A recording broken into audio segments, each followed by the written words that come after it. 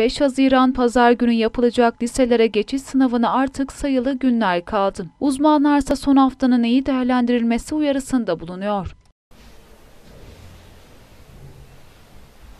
Uzun bir maratonun ardından sınava girecek olan öğrencilerin kaygı yönetimine dikkat etmesi uyarısında bulunan Rehberlik Araştırma Merkezi Psikolojik Danışma Fatih Koca Kaplan, önemli olan bu duyguyu kontrol edebilmek dedi. Sınav sürecinde son haftaya girdiğimizde öğrencilerde ortaya çıkan bir duygu var. O da kaygı duygusu. Ee, Kaygı aslında bütün insanlarda olması gereken doğal bir duygu, insani bir duygu.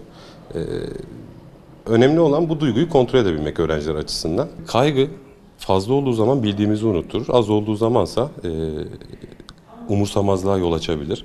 Bu noktada öğrenciler sınav öncesi ve esnasında e, derin nefes egzersizleriyle ve olumlu düşüncelerle ben elimden geleni yaptım, e, bu dünyanın sonu değil gibi düşüncelerle e, kaygılarını kontrol altına alabilirler. Öğrencilerin sınav öncesi akademik bir öz değerlendirme yapması gerektiğini hatırlatan Koca Kaplan, böylelikle sınav öncesi kendilerini görme fırsatı bulabilirler dedi. Özellikle bir akademik öz değerlendirmelerini yapmaları lazım bu süreçte. Sene başından beri ben nasıl çalıştım, e, hangi ders ve konularda iyiyim, hangilerinde kötüyüm gibi e, özellikle öz değerlendirmelerini yapmaları lazım. E, Bakanlığımız tarafından yayınlanan örnek soruları bir göz gezdirmelerini tavsiye ediyoruz bu noktada. Çünkü bu sorularla pratik yaparlarsa tanıdık bir sınava girmiş olacaklar ve daha rahat olacaklar sınavda. Ee, Son hafta denemelere ağırlık vermeleri daha iyi olur. Yeni bir konu çalışmaktan ziyade tabii ki eksik oldukları noktaları tamamlasınlar ama deneme yapmaları, konuları genel anlamda görmeleri daha iyi olur onlar için.